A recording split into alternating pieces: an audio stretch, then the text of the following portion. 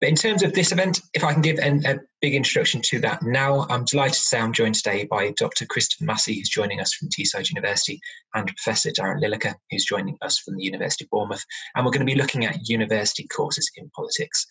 Christopher's going to open things up and introduce university courses in politics, including essentially what, what to expect, you know, an idea of what to expect on a politics program. And then Darren is going to follow that up by talking about really what why people do study politics at university. And the great thing about the event today is, is both colleagues are academic members of staff. So these are exactly the type of people, if you do go to university, that are actually going to be teaching you on the program. So that should be really, really useful as well.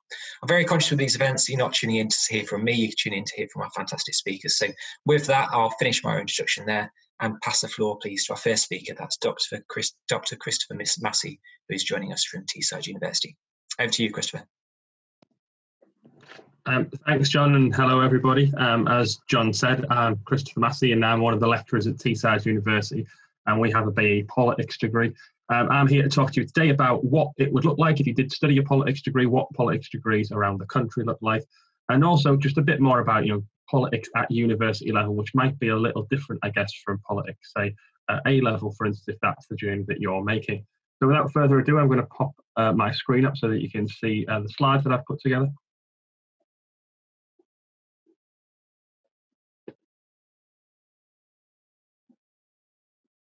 Okay, you should hopefully be able to see that now or certainly shortly.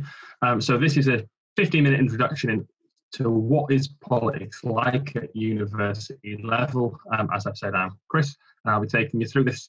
So without further ado, the first slide that I have for you is this, and this is something that I often do when I'm looking at open days or outreach events, and I thought it would be a good thing to do today. Um, so what I'd ask you to do is have a think for maybe 30 seconds. I'll try and keep quiet for 30 seconds about who these individuals on the slide are and what it might be that connects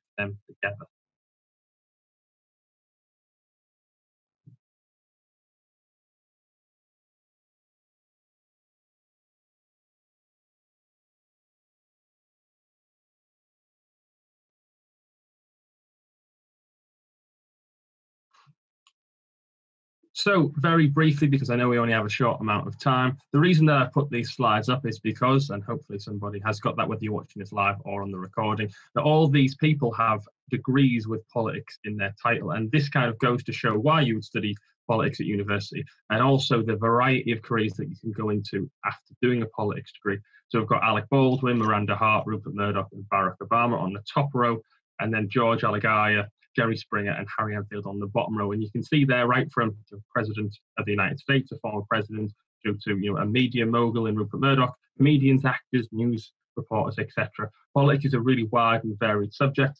And this is something that I've certainly experienced throughout my career. So I've been a lecturer now five years, but before that, because of my background in politics at university, I've also been a politician myself. I've worked for a member of the House of Lords, and I've also been a teacher. So it can really open doors into a variety of careers. So I just thought I'd have a very quick slide at the front to try and show that as a bit of an introduction.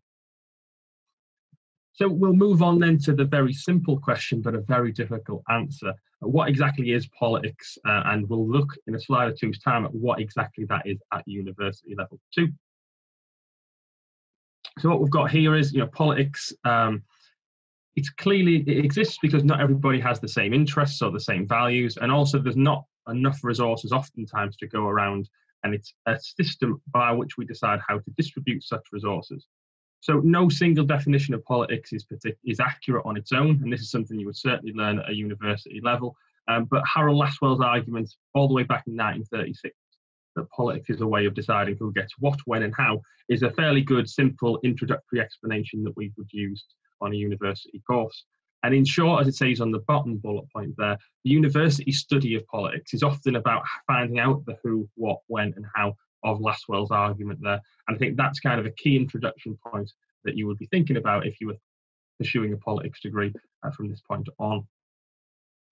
So this is kind of one of the main content-driven slides that I wanted to talk about today, and it's what does a politics degree look like? As you'll be aware, you've probably sampled on different university websites and prospectuses, etc. The politics degrees, as it says, are very wide and very varied. Um, they will um, have very different modules depending on the academic study that takes place there, particularly amongst their members of staff. Uh, so, for instance, my background is in um, political history, which is the first bullet point. So, the politics degree that we have at Teesside University has a number of political history modules on it because that's the real strength of our uh, research and our departments. But other universities will have different strengths, and obviously they will align some of their modules um, akin to those strengths. But what you would want to look for if you're looking for a politics degree is you know, find out which you know angle of politics that you're particularly interested in. Also try and look maybe you know do you want to study another subject alongside politics? So things such as politics and international relations are very popular degrees because people want to do both strands.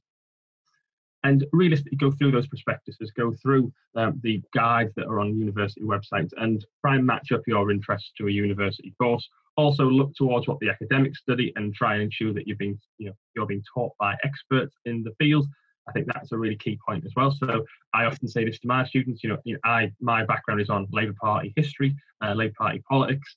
Um, you want me teaching you on the Labour Party module as opposed to maybe one of my colleagues because that's my you know area of expertise. But whereas my colleague who's an IR expert, you want to teach the IR module. So I try to put three very quick, simple strands about politics together so most degrees across the uh, UK university sector will have some modules that would look at current and past political events, and this can often be deemed a strand of politics called political history. You know, the study of you know uh, political parties, the study of elections, the study of you know change and different ideologies, etc. That would be one of the main strands, and as I said, that's my particular area of interest and my particular research background. Uh, but there are also degrees and degree modules that study more about the models in politics and types of government and the political behaviour of governments and of electors. This can often be termed maybe political theory or political science, so it's a slightly different strand. This is something that removes politics away from history. There's a bit of a difference there. And also, maybe a third broad strand that you would see as well is you'll often see the investigation of the work of theorists, um, and this would be political ideologies or ideas of the state. So, you know, all the way from things such as Hobbes and Marx, etc. You, know, you would study the broad theories that exist in politics and the people who have put those ideas out there to help us try and understand the world around us, because that's what politics really is. It's a degree um, and it's a discipline that tries to help us understand exactly what's going on now and what has taken place in the past. And the final bullet point there, as I mentioned a little earlier on, um, politics is wide and varied, and it also, you know, associates itself very closely with a number of other disciplines. So you'll often see politics degrees that have joint honours attached to them. So I've mentioned politics and international relations, but there's also politics and history degrees, politics philosophy, economics, etc. And if that's something that really interests you, some universities will have the option that you can pursue um, a joint honours degree with politics, maybe as the main element or even as the minor element in that particular degree. So the last few slides I wanted to talk about today is about what is the academic study of politics. So a lot of people who you know may be watching now or maybe uh, watching later on on the recording, what they're going to think about is that you've probably got an interest in politics to be here watching this video in the first place. But that interest in politics might be different to what the university study of politics looks like. So, for instance, a lot of the students who may come on uh, the degrees that I teach on, they're interested in politics. They might be political party members, they might be people who are particularly interested in, you know, the news reporting of politics, etc. But they may not have necessarily done an A level in politics. They may not necessarily have that kind of grounding um, in academic study in the area. They just have a real interest in. So I try to do in a very simple, quick slide the two things that differentiate the university study of politics to um, you know the hobby of politics, or perhaps also even some A level courses in politics. And those two things are the academic study at university, particularly as you go through the years at university. So this is absolutely something we would be looking for in the final year at university, what is level six or third year for most full-time students. You'll be looking towards trying to discover something entirely new. So you're trying to discover something that's not been written about before, um, whether that's a topic or a subsection of a topic. And or you also may want to provide a new and different interpretation on an event so this could either be building on existing scholarship or challenging existing scholarship and saying that you know what has taken place so far isn't completely accurate and maybe needs to be another spoke added to the wheel. Um, and this is something that students build from their first years at university all the way through their last year. Um, and it's not something that people will necessarily be able to do on day one, but it's certainly something that people will be able to do if they leave, because your dissertation effectively, which most university courses have a dissertation, like an individual project that might be around 10,000 words long, effectively tries to cover one of those two bases that I've just mentioned there. And I think this is what differentiates politics, as I've said, from maybe the college study or the hobby of politics to the university level study of politics, that you're trying to locate something different. You're not just repeating what other people have said, you're critiquing, analysing, evaluating what people have said to come up with something slightly different as the answer to a particular question. Uh, the last couple of slides I've got give you an example of that from my own background, which I thought might be illustrative for today. So you've got a photograph in front of you there. Hopefully you can see all five members. Um, you may not be able to see the top right one because, uh, for instance, the video feed is on the top right one on my screen, but you can certainly see four. Um, have a think about these five people as I talk and think how many of them do you know? I've asked this question a lot, and I've asked this question at a variety of events with academics, um, with students, and with members of the public, and nobody ever has been able to name who all five of those individuals are. Most people will be able to name two, and some will be able to name maybe four, up to four, but no one ever gets all five. And there's a reason I'm telling you this, which I will reveal in a minute or so's time. So hopefully you've had a chance to think about that while I've been speaking. And I'll tell you now that the two people that everybody gets there are Tony Blair and Gordon Brown. And if you can't see Gordon Brown, if the video feed's there, which is on my screen, Gordon Brown's hidden behind the video feed. Most people get those two individuals because they were both prime ministers um, and they're quite famous individuals. However, some people, and particularly some people who may have lived through this era of politics, will also get the other two individuals. So you've got on the far left there Robin Cook, who was former foreign secretary in the UK, um, and then second from the right, John Prescott, uh, who was the deputy prime minister under Tony Blair. So most people get all four. No one ever gets to number five. Number five is a chap called Lord Tom Sawyer. Um, and this effectively is, for me, this new interpretation and the new a piece of history, political history, that can be created not just from this photograph, but by a study of that individual. So that's my example for you today of a project that could do something at university level, like I've just mentioned on the slide previous. A very, very quick slide on who Tom Sawyer was. Tom Sawyer was the Deputy General Secretary, which basically was second in charge of the National Union of Public Employees, which became Unison, uh, which is a trade union that exists today. Um, he also did a lot of work within the Labour Party. He was on the Labour Party's executive committee and moved the motion to establish um, an inquiry into Militant, which was a far left group that got expelled from the Labour Party in the mid 80s, authored Labour's major policy changes, which Labour basically used to be quite left wing in the 1980s and moved as the 80s gone on into the 90s into a more centre left party. Tom was behind that. Uh, he was the General Secretary of the Labour Party, which is the absolute top official in the Labour Party. And he also kept an unpublished diary, which provides people a source space that they can investigate something that's never been looked at in that particular angle before. So the reason that I've given you this very quick example is to show that using Tom Sawyer's story, his diary archive, this enabled my research in politics to have a new contribution. It's new research, it's never been done before. No one knows who this guy was, yet he was behind the scene actor that I tried to bring out and tease out. And that's what university courses try and get you to be able to do. And I've seen students be able to do this. I've given you a personal example there, but I've seen a number of students over the years who have given me an entirely new interpretation on, you know, maybe it's an election, maybe it's a political party, maybe it's a political figure, Thatcher, Blair, Kinnock, whoever it may be because of their skills that they learn at university through years one and year two. They can do this by year three. And I thought I'd give you a personal example as opposed to pulling up one of my students' old work. So not only does this give new research, it's also a new interpretation because if you look in any book on the Labour Party, not many of them will mention Tom Sawyer at length. They might have one or two references towards him. Uh, but my argument is, and my book is on the screen there, that Tom Sawyer played a significant and uncredited role in Labour's general election in 1997. Uh, and that's kind of how you can use academic research to bring an argument out that can be very different. And that's what a politics course is about at university, trying to get you to a place where you can make a very you know, holistic argument with lots of evidence that could realistically change the course of written history. You know, you could try and change what people have read, read and written before into something very new. And I think that's kind of one of the key things about politics at university. So, like I said, politics it's a great course. It's something that i would recommend because it's a you know, part of my background as well. I would advise you if you're interested in particular aspects of politics look on university websites to see if that university teaches that you're interested in.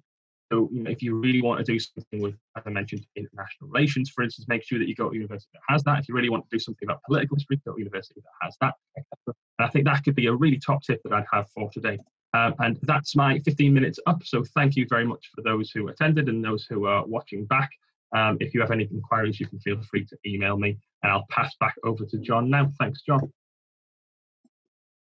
Thank you, Chris. An excellent introduction to studying politics at university. And, and Chris, you're, you're uh, I got I got four out of five, so you, you're still at 100 percent in terms of the people that have done the um, the test. But a great great instruction. Really appreciate that. And, if you've got any questions for Chris, um, obviously the, this is for the people that are watching live. But if you've got any questions for Chris, please do drop them in the Q and A. Um, Chris has very kindly um, said he's going to be around for the next 15 minutes or so during the presentation that Darren's going to offer. Um, if you've got any questions there, so thanks again, Chris. Brilliant. Our second speaker today is Professor Darren Lilleker, who is joining us from the University of Bournemouth. And Darren's going to um, run a session also, obviously, on politics, but looking at more so why study politics. And, and it might you know, might be that Darren touches on a few of the similar things that Chris has, but there'll be you know, no doubt lots of, new, really useful content in there as well, and certainly a, different perspective on politics in addition to that too. So again, conscious that you're not tuning in to hear from me, let's pass the floor straight to Darren. Uh, Darren, over to you, please. So, hello everyone. Um, very pleased to be with you this afternoon and um, talk about why I study politics at university. Um, I've taught politics at university for um, ooh, nearly 25 years now. Um, started at Barnsley College, Sheffield University, and, and most recently down in Bournemouth. And it's one of those subjects that, for many people, um, is an alien concept and I always find it fascinating to talk to people, such as in the hairdresser something, when they ask you what you're doing, and, and you tell them you're lecturing in politics. Um, and they, they, give a variety of, of, sort of responses to that. And it's usually a, ooh, oh, politics, oh. Um, so that's uncertainty society. And I think one of the uh, important things about studying university, uh, studying politics university, is demystifying some of that, helping us to understand what politics is, how it works, and how we fit into the political system. And so my take on politics and, and the, the programs I've involved in, and I, I teach on the politics um, BA at Bournemouth, also BA Politics Economics, as well as our master's programs, is that politics is one set of discipline, one discipline, if you like, one set of ideas but also we draw on sociology, we draw on um, psychology, and bring us a rounded picture of, of society, how it works, how people work, and so how politics fits into all of those things. So, firstly, it, it's there's quite a bit of research on how people respond to politics, and often we find that politics is, is very much perceived as, as a black box. It happens within a bubble people often talk about the Westminster bubble, for example. Something is done in this place to citizens. And it doesn't really matter if it's Westminster, if it's Washington, if it's Brussels, if it's the United Nations. These are places where politics happens. And politics is seen as a, as a series of practices that have traditions and ways of doing things that isn't as familiar to people it's almost alien to people. And so the process of, of teaching politics and, and studying politics is to demystify that, to unpack this black box, to open it up and see what's inside and how it works and to understand it. So we've, we've seen one definition of politics. Um, I prefer one that, that's focused on looking at how power is achieved and how power is used. Because it opens it up not just to think about how politicians operate, but also how people operate. And understanding that we are all political to some extent. And we all have some degree of power and influence. Even if it's just our vote, we have some power and influence. And so, how people think about using it is as important part of politics as how the power of government is used in many ways. So my approach to politics is thinking about these three interconnected spheres. We think about political actors, and, and often we see them being in these bubbles, as I've said, in Westminster, in, in Washington, wherever they reside and, and operate. But really, they're just part of us. They're part of the broader citizenry. And they may seem to work on different ways and think in different ways, but fundamentally, they're part of us. They represent us. And any of us can be one of them. And kind of thinking about going into politics and studying politics is thinking about the sort of career one might want. Um, does somebody want to be elected? Do you want to be working for a pressure group or a charity? All of these work in politics to some degree or another. Politics is not just something that happens in Westminster, it happens all the way down to very, very local level and is also dispersed across a whole range of institutions which are national and international. And we all take part in those to some degree. We're also part of the media. We influence the media by our audience habits, but we also can broadcast. We can share our views. We can perform a media role, even if it's just updating our status on Facebook. We are saying something to somebody else that could be political if one chooses to.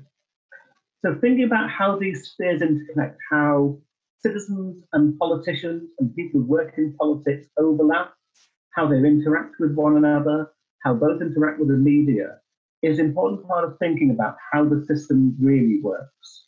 It's not just about locked, sealed institutions, it's about interactions between institutions and how they then make power work, make governing work, make society work. So think about some of the things that, that unpack these. Firstly, we have to think about winning power.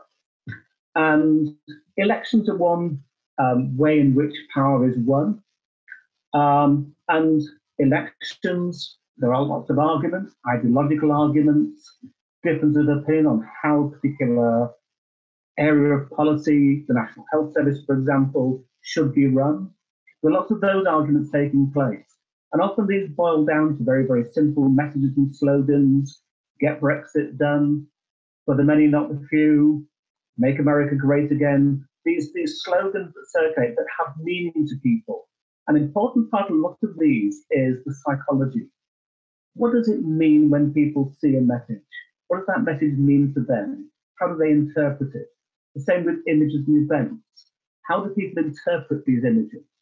And that can be the, the overall image of a politician standing for election, or it can be the simple image that we see of that politician, how they look at a certain time, how they perform during a debate, the overall way in which they look. What event? Who are they seen with? Are people seen smiling at them? There's a whole range of different ways in which people are influenced. And all of those can shape the extent to which somebody wins or loses an election. But outside of election time, all of these things are also happening. At present, Boris Johnson needs to be trusted. And so the arguments he's making, the messages he is laying out to the country, the slogans being used, stay alert, etc.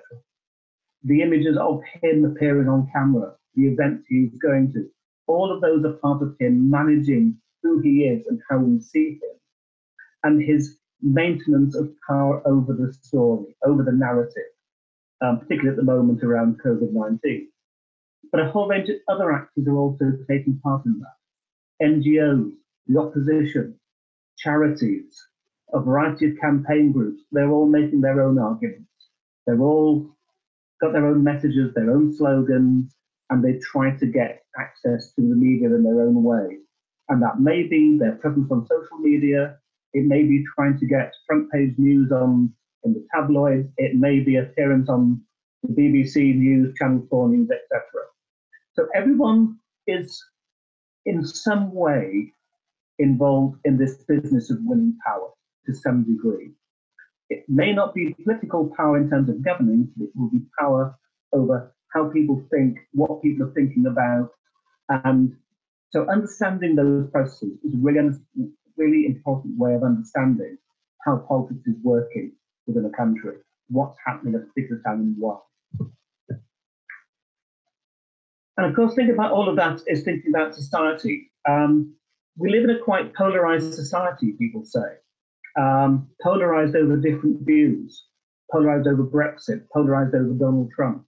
All these different societies have these varieties of different schisms in them, divisions between different groups of people. Some also argue that the greatest form of polarization is between, between those who feel that they have power and those who feel excluded from power, the haves and have nots.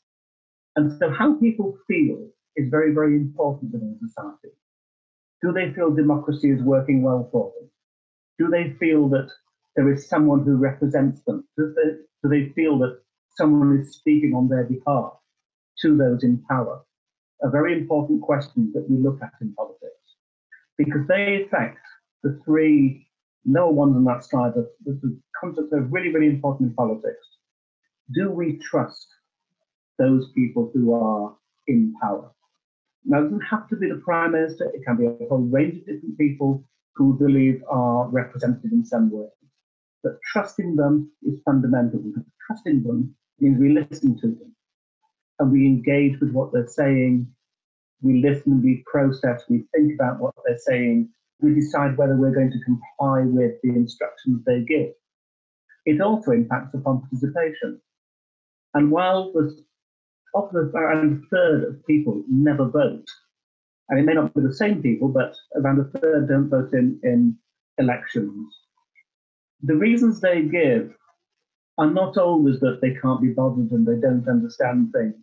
But when we drill down to that, we find lots of very, very complex reasons why people don't participate. Because no one represents them, because anybody could be trusted. Um, and it may start off being a very, very simple explanation, but it can become very, very complex when you encourage people to really talk about their feelings of politics. And those are things that, that it draws on sociology, it draws on psychology, that helps us to understand politics. And that's a fundamental part of, of studying politics at university, is really drilling down into some of these, these concepts, some of these, in a, in a way, well rehearsed phrases I don't trust politicians. And what does that really mean? Why don't we trust politicians? What can we do about it? And we also um, study the power of voice, and, and communication is, is becoming a, really important part of the study of politics. You, you look at some, uh, many programs around the country, some still do not have as, as strong a focus on, on communication as others. But communication is really, really fundamental because that is the foundation of the relationship between citizens, media, and politics. It's the bit where they all overlap, is what is being said. So we need the role of media. We need media that will perform a task of objective reporting, of telling us what's happening in a way that's not biased to one side or another, but is telling us that what is happening, what's working well, what may not be working as well. There's also a problem often with media in terms of uh, over sensationalization. We focus on the scandals and splits and whether a particular prime minister is falling out with you know, somebody else in cabinet with the long stories, um, which I'm sure Chris is well aware of, of the, the schism between Gordon Brown and Tony Blair um, during Tony Blair's time as prime minister. And all of these things are, are stories the media use, but what we really need is, is some kind of objective reporting of, of looking at them. And so think about how the media work is important. Also about the amplification. Do they amplify the arguments from one side or another? Do they just repeat what the government's saying? Do they just repeat what the opposition is saying? Is their commentary loaded with their own bias? But also important in the power of voice is us, the people. What mechanism, mechanisms can we use to challenge power? Is it just something that we can tell politicians don't trust them on Facebook? Or what else can we do? What are the mechanisms that charities offer? What do NGOs offer? What do campaign groups offer? What does 38 Degrees or Momentum offer? Where people can come together and challenge power within a party, within the nation. And to what extent can we have proper open debates with those we elect? So thinking about how we can have that conversation between those in power um, and us as citizens. It's important part of understanding those dynamics and relationships um, within um, politics is important. And we are all thinking, I'm, I'm, sure at the moment, about what is happening COVID-19's impacts, but what it really illuminates is the different ways in which politics happens and how politics does impact. We have very, very local politics. One of our local councillors here in Bournemouth declared a state of emergency because there was too many tourists. Leicester, though, was locked down by the government. So there's different ways in which politics takes place in towns and cities. And of course, within the United Kingdom, we have really four nations running at different speeds in terms of what's happening. They have different approaches to dealing with the pandemic. We also have the Westminster level of politics, where politics is occurring within a nation, but we also have politics across nations, across the U- European Union, across the world, the relationship with the World Health Organization proves just how politics is global. And COVID 19 will be something that I'm sure will be not necessarily on the curriculum um, in September, but a thread running through many programs because it illuminates all these different levels of politics and the way in which governments have responded, NGOs have responded, civil society, the ordinary citizen has responded. So an excellent case study, understanding it, understanding how these different things work, is illuminated by our understanding of politics and who has power and how power is shaped in these different contexts. So, final points about studying politics. And this can help us think about the, the sorts of careers we're looking at, the sorts of goals we have in life, the sorts of things we want to be involved in, even if we don't want to necessarily um, be a politician or be active in politics, things that can help us get somewhere else in, in with a particular career. Um, so understanding how who has power, how they gain it, um, is important in many, many contexts. Politics takes place everywhere. So understanding those different relationships is very, very important. How power is exercised and diffused, how power is given away, um, not just to devolve government, but also filtered down organizations and within society, is, is an important part of understanding the politics of the system. It also helps us understand the inequalities and also protest movements. Black Lives Matter, for example, has, has sort of really shone a light on how people feel about power and the inequalities and how power has not been fully diffused across a group of citizens. It helps us also understand how to influence people in power or how to gain power or gain more influence. And think about the mechanisms we use in national politics and global politics. That helps us also understand how we ourselves can leverage some influence at a local level within our organization. And so understanding influence, change, control, and the narrative, what's being said, how things are being framed. These are important parts of studying politics and something that's embedded in most university degrees um, and a fundamental part of, of thinking about how politics works. And university uh, programs focus on these sorts of elements and so open up a wide range of careers moving forward. Thank you.